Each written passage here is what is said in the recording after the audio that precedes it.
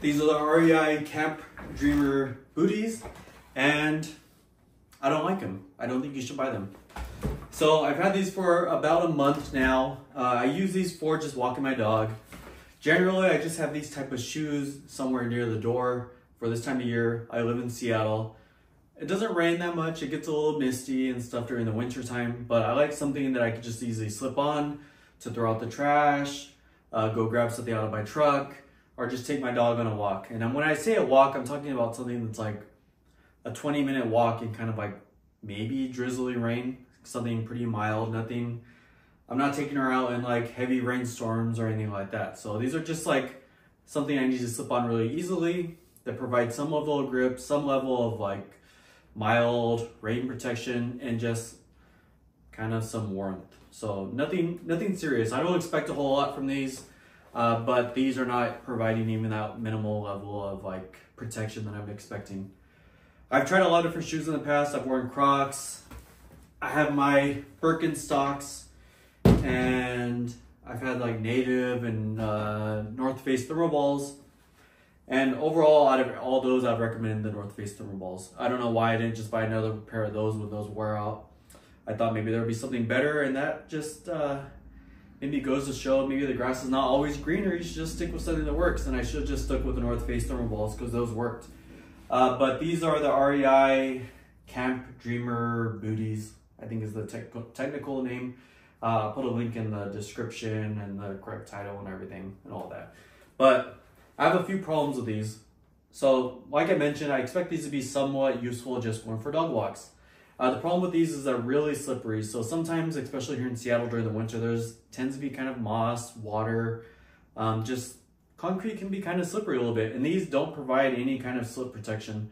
And I know I'm not supposed to expect a lot. These are just kind of little camp shoes, but Thermoballs are fine. My Crocs are fine. I'm not slipping or falling in those, but these I'm slipping around my driveway. And I don't know what it is with the compound because it feels like it's pretty rubbery and grippy.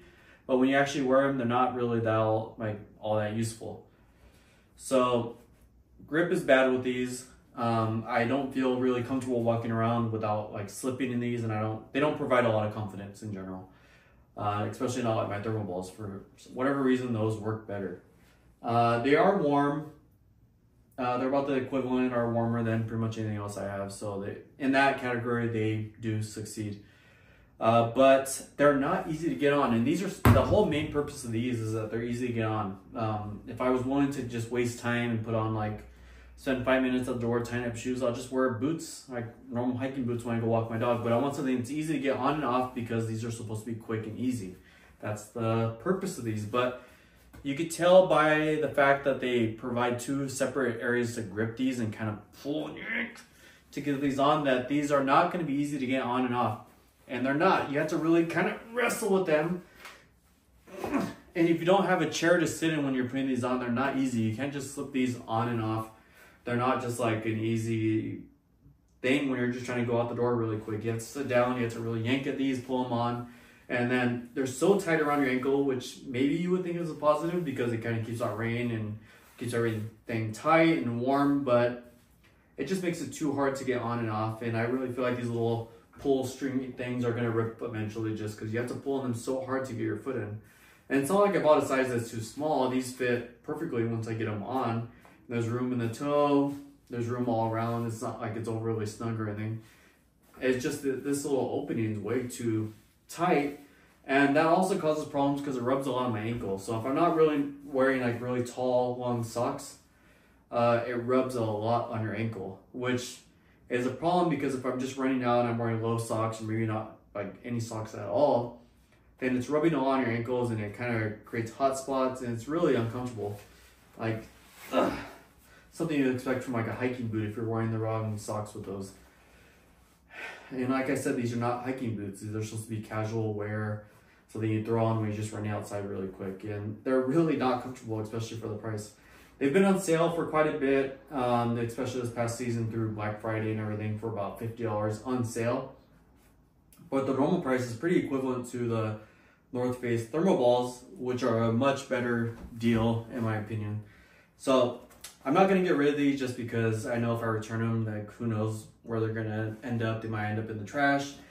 and I just don't like the idea of these being wasted. So I'm gonna wear these through. I'm gonna commit to this because I made the mistake of buying them. Generally, I really like REI stuff because I think they provide a good value and a lower barrier to entry, especially in terms of price. But um, not in this case. I'm not really kind of like coming down on the REI brand in general. Just I don't like these camp booties specifically. I'm the type of person that likes REI a lot. I like the brand. I like just walking around the stores when I want to waste some time. Uh, but I don't like these uh, camp booties.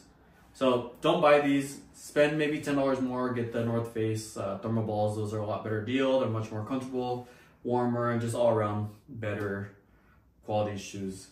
So unfortunately, I don't recommend these, but there's good alternatives. So you're not kind of completely left out there. So there's something for you. Uh, so yeah, thanks for watching, and uh, I'll see you out there.